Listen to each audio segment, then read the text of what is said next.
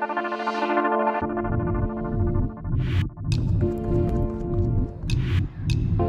looks super repeatable to me.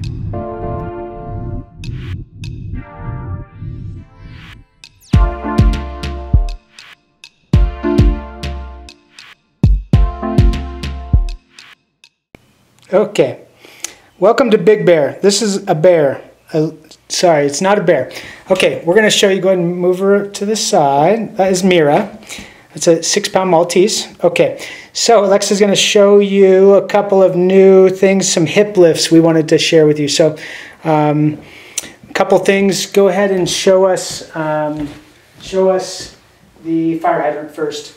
And when we do this, we want to make sure that this that our support legs, scoot your hips forward a little bit, there you go, that we're beyond, that we're, our hips are in front of our knee, okay? This knee is higher than the, the ankle, very important.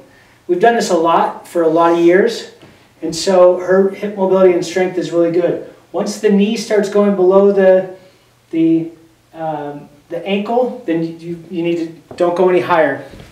Okay, for, uh, next one we'll do is uh, trail leg hurdle.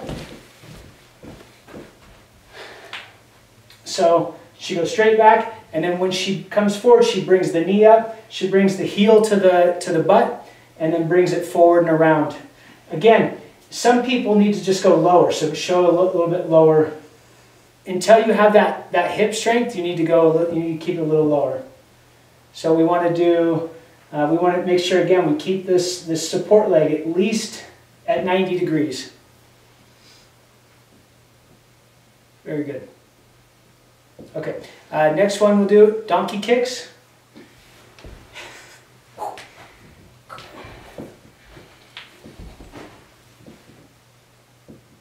On this, try not to open the hip up a bunch. We're just going up and see how she's keeping the, their torso nice and rigid.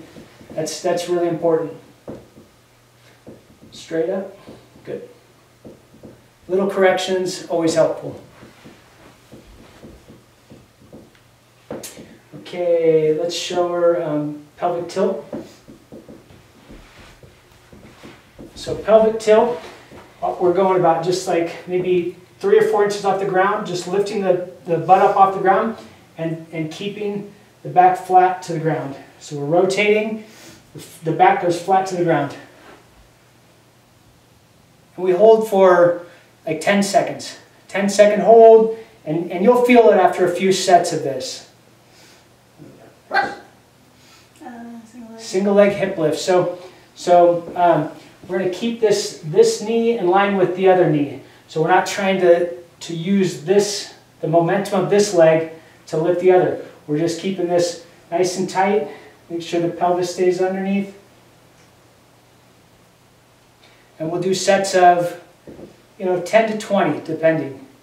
We do these on a Swiss ball.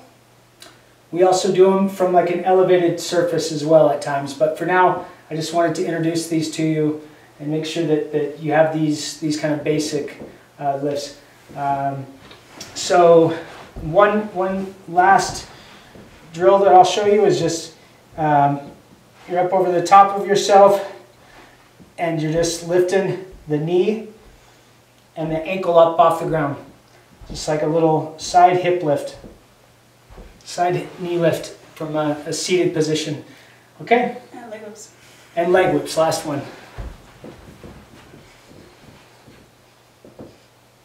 And so she stays, she touches the ground on the other side of the foot. She stays like maybe a foot off the ground and then comes up to where her strength allows her to go and then back to the back to the back. So go ahead and do the other side. Let's uh, make sure we're even. This is a this is a, a really good exercise for uh, glute development and and uh, uh, for women. I feel like this is like a huge one for injury prevention. All of these are really big for injury prevention. So this will be like a staple for us. So, all right, thanks.